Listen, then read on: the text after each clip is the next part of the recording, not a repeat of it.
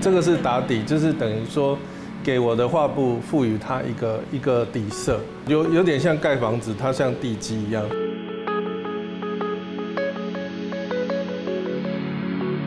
对我来说，挥洒那个笔的一处性是很有人味，用大的笔触可以让整个画面产生一种自然而然产生的一种干湿浓淡的感觉，所以基本上它是已经有一层。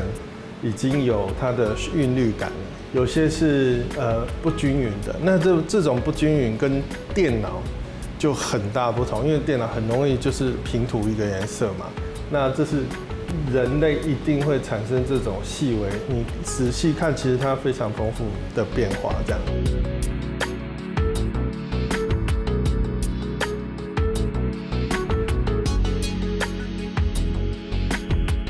会以大的色块的呃来做一个布在画面上，因为那个色块就是我那个当下的时时候心境所产生的一个颜色的一个画面。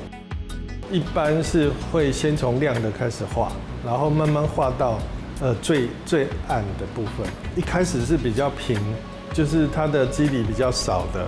的一个平面。然后慢慢的再开始有一些颜色的那厚薄的分的区分，然后还会有一些啊，譬如说渲染的效果，跟盖房子一样，就是慢慢的第二层就会有一些比较大的面，然后大的面慢慢呃变成比较小的呃小的色块。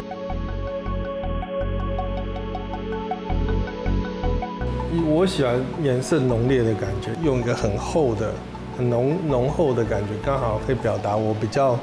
热情，我的我的情感比较深，比较浓厚，这样就跟小时候写书法是一样，很享受，很自由的那种书写的笔调，人的气味，然后内心灵魂的跳动，这样子。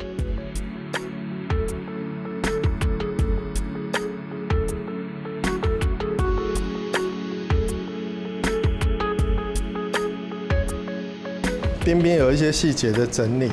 啊，我会喷一些水，让，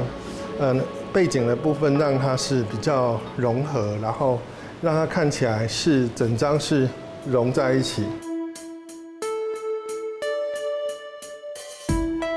我今天的心情是很愉悦，有一些粉色系，有一些各种颜色的跳动。那我用黑色的书法的，呃，书写线条。来统御整整张画面的那种呃结构，书写的一气呵成、酣畅淋漓，那些对我来说都是有很很，就是我一辈子我都是在东从东方里面去呃思考呃整个的创作主轴。这个黑色就是我。呃，五日前就在这一个黑色的里面，因为这是我的符号，也是我的印记。呃，因为我个人的生活经历，我从小就是喜欢东方美学，但是呢，因为我的生活里面有很长的时间在西方的世界，那所以那我个人喜欢很浓烈的色彩，所以加上西方的美彩，然后把它呈现跟色块的对话。其实这整张画也是我我人生的一个缩影。